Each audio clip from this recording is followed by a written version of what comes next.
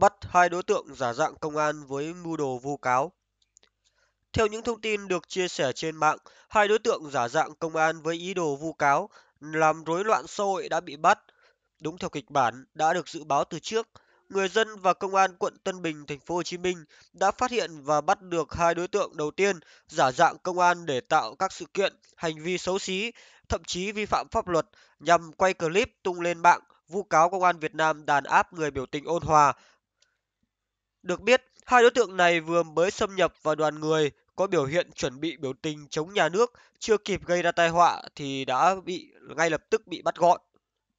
Facebooker Nguyễn Thị Lý cho hay, trong chiêu bài của bọn khủng bố Việt Tân ngày hôm nay có thủ đoạn cài bọn lưu manh mặc quần áo công an để giả danh công an, trà trộn vào đám đông để đánh người, sau đó đồng bọn sẽ hô hoán là đánh công an đánh người để kích động cho đám đông bạo loạn. Những thủ đoạn đó chúng chưa kịp thực hiện thì đã bị tóm cổ. Hiện công an thành phố Hồ Chí Minh đang tiếp tục khai thác đối tượng và làm sáng tỏ vụ việc trên. Việc phát hiện các đối tượng giả danh không khó, vì trang phục chúng mặc không tuân thủ quy định của ngành công an. Dù nghiên cứu kỹ đến mấy thì các đối tượng này cũng không thể biết hết các quy định về cách đeo ve hàm, thắt lưng, biển hiệu, chất liệu vải, da, không thể biết được các loại cúc, loại giày, thắt lưng nào thì đi với cặp loại áo nào, dành cho cấp nào, tư thế tác phong, thái độ, đầu tóc và các biểu hiện khác không phù hợp với các quy định về chế độ điều lệnh của ngành này. Mặt khác, giữa kẻ giả dạng công an và những đối tượng cầm đầu cũng như các đối tượng khác, đặc biệt là đối tượng quay phim, luôn phải giữ liên lạc bằng ánh mắt, ám tín hiệu hoặc các dấu hiệu, ví dụ như buộc dây ở cổ tay như trong hình, hoặc trao đổi trực tiếp với ánh mắt không đàng hoàng, hành động lén lút.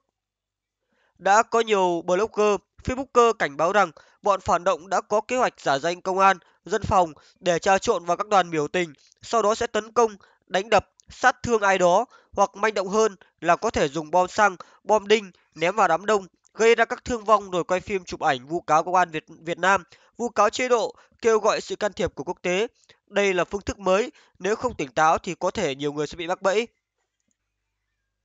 Nhiều nguồn tin cho hay, đối tượng giả dạng công an với hàm trung sĩ, đeo ve ngược không bảng tên và sử dụng thắt lưng dân sự là admin của trang Đô Thành Sài Gòn, một trang cổ suý cho chế độ ngụy quân ngụy quyền, chuyên đăng tải các bài viết kêu gọi biểu tình, kích động người dân.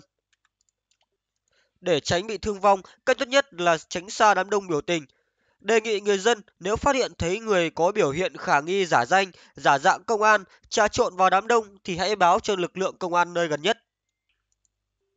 Thông tin từ thành phố Hồ Chí Minh cho biết, hiện nay đã bắt được 30 đối tượng giả dạng công an